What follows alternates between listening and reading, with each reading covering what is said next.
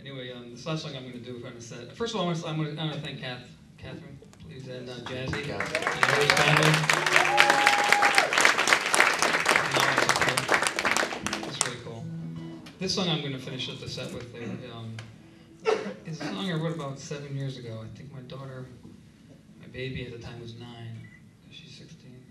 Yeah, I can do the math. Anyway, I got a call from back east, and um, a very dear piece of me I heard passed away. And I was sitting on the couch, and she had come down from playing upstairs. And she came over to me, she looked in my eyes, and she said, Daddy, why are you crying? And I told her, I said, you know, someone very dear to me passed away. And I hadn't seen that, and I wasn't able to go, to go back east to, to be with them and be with the family. You know, and she just, she put her little arms around my neck, and she gave me a big squeeze and hug. And she said, Daddy, don't, don't worry, everything's going to be okay. And she just ran away upstairs to watch cartoons or whatever she was doing. So I sat there for a few minutes, and I, just, I kind of wanted to, I, want to find a way to say goodbye to this family member. So I just wrote this song called So Long.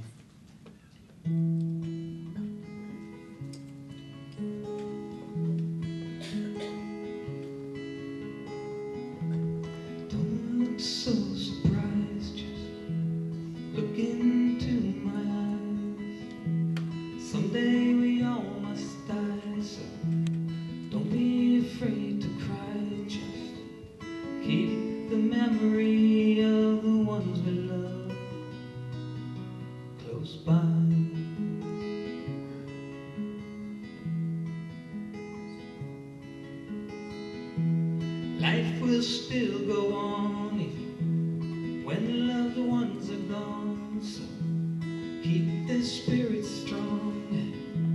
Your heart will beat along